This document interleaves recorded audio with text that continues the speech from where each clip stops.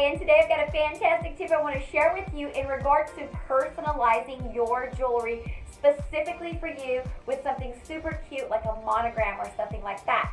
So what I want to look at is Paparazzi offers several different pieces of jewelry in our line that have a large pendant. For example, this set here has a very large pendant both on the bracelet and also on the necklace. So one thing I want to show you is for those girls out there that are crafty, that you own a, a cutting machine that has like the vinyl cuts you could do with like a Cricut or a silhouette machine, uh, you can go ahead and go on there and cut a vinyl sticker for your monogram or anything specific that you would like to add to your jewelry. But for those of you who do not own that, do not fret, there is a secondary choice.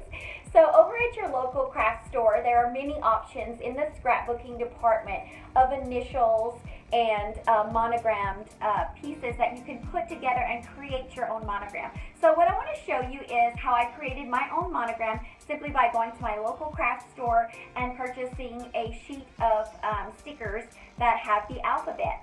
So on this particular one, I have my first initial and my last initial, and this particular sticker had actually a little bling on it, which was super cute. And so what I did is just went ahead and purchased that and then just literally stuck it on to my bracelet and then created a monogram piece both on the bracelet and also on the large pendant. So now I have a beautiful matching set monogrammed now specifically with my initials.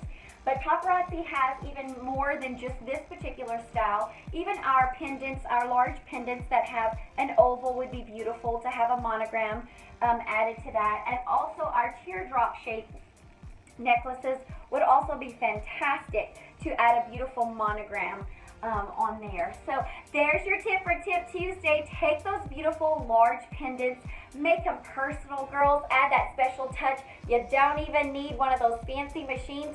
Run down to your local craft store, grab you a pack of stickers of a particular uh, style that you like, and add that to your jewelry, and it becomes super special and unique to you and beautiful just like you are. So I hope you have an amazing rest of your Tuesday and also rest of your week. And guess what, girls? We'll see you back here next week on Tip Tuesday.